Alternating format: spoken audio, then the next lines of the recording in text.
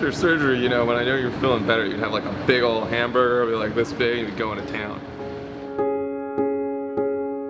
Hydrocephalus is basically buildup of fluid inside the brain. And if it's untreated, it can ultimately be fatal.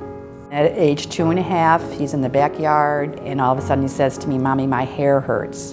And then his head starts drooping. Brought him to the emergency room of the hospital. So this was the first in a long litany of emergency room and hospital visits. Hydrocephalus is normally treated with shunts, which are tubes that drain excess spinal fluid from the head to a distal site like the belly. Unfortunately, these things fail, and they fail a lot, at nearly 100%.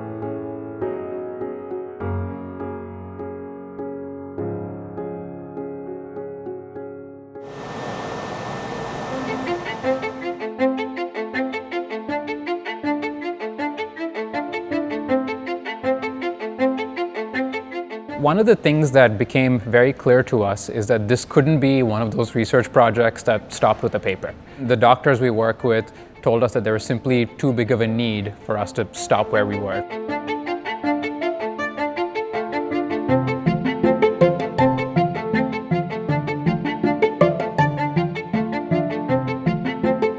It's based on a thermal transport measurement whereby we dose in very tiny amounts of thermal power to increase the temperature locally in the skin by a very slight amount. And then we measure the change in temperature that's induced by flow or no flow through, through the shunt. But at the end of the day, from a patient perspective, it looks like a Band-Aid that's talking to their cell phone. We plan on taking it to a clinical trial at Lurie Children's Hospital and attempting to get FDA clearance so that we can ultimately put this device into the hands of our patients. I'm trying to live a normal life and I really can't because of the headaches. The biggest part of hydrocephalus is the unpredictability and not being able to know from one day to the next whether you'll be in the emergency room or be at home.